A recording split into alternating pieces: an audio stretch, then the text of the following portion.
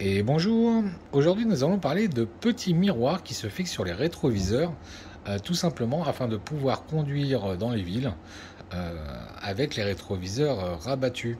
Voilà, tout simplement. Alors j'avais vu ça sur beaucoup beaucoup de Forza hein, que je croisais dans les grandes villes type Bangkok, et c'est vrai que je me disais tiens, je sais pas où ils les ont eu, donc bon, moi j'ai été voir au, magasin local, puis bon, bah, il les a. Et donc ce qui m'a été ce qui m'a été fourni, donc ce sont les, ces miroirs que je cherchais. Mais euh, j'ai vu qu'au final, c'était des miroirs qui étaient destinés aux voitures, où on peut les installer tout simplement avec une pince qui est fournie, ou, ou avec la ventouse. Voilà. Donc la ventouse a l'air de très très bonne qualité. Il y a une petite bague pour ressortir le, la ventouse une fois, une fois qu'on l'a utilisée. Donc c'est assez simple d'utilisation. quoi. Voilà.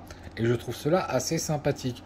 Alors bien entendu, je ne fais pas beaucoup beaucoup de villes, mais ça me permettait de, les prendre et de vous présenter parce que euh, l'année dernière j'avais fait les rétroviseurs électriques et cette année euh, bah, j'ai un peu la flemme de le faire sur, euh, sur le Forza 350. Donc je me suis dit bah ça c'est beaucoup plus simple. Voilà, et, je trouve que c'est que c'est pas mal du tout. Hein. Donc qu'est-ce que j'ai reçu aussi Des cale-pieds arrière?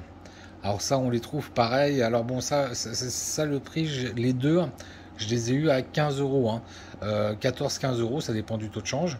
Voilà. Mais je pense que bon, si vous recherchez euh, sur internet ou des choses comme ça, parce que bon, moi j'achète chez le commerçant local, mais bon, je pense qu'on peut trouver, euh, te, trouver moins cher, je pense.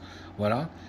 en cherchant voilà, des, petits miroirs d'intérieur pour véhicule, peut-être que ça peut le faire. Enfin bon, voilà. Je pense que les pros d'internet s'en sortiront extrêmement bien.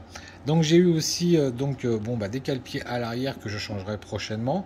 Voilà, alors ça c'est ceux de apparemment ça doit être des collections parce que cette année c'est plus ce style là. Bon, on va voir, je vais le monter, hein, ça, a l'air d'être sympa. Voilà, euh, à voir, on verra ce que ça donne. Sinon, bah, je changerai la couleur sur, en prenant bon, bah, peut-être des gris. voilà. Donc là, au niveau du Forza, on arrive aux 12 000 km. Donc toujours aucun souci, hein, ça fonctionne très très bien. Euh, je voulais remercier les abonnés qui m'ont envoyé euh, bah, plein de messages puisque ma fille est arrivée le 25 février, euh, trois semaines plus tôt que prévu. Donc ça j'en voulais un peu tout.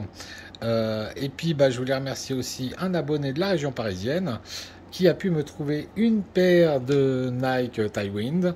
Voilà, euh, aux couleurs euh, plus ou moins de mon véhicule quoi en fait hein, noir et rouge voilà donc euh, ça m'a fait très très plaisir alors ça pour ceux qui connaissent pas hein, c'est une paire de chaussures qui n'est pas une chaussure de sport qui est une chaussure pour tout faire euh, pour traîner, bricoler, etc. etc.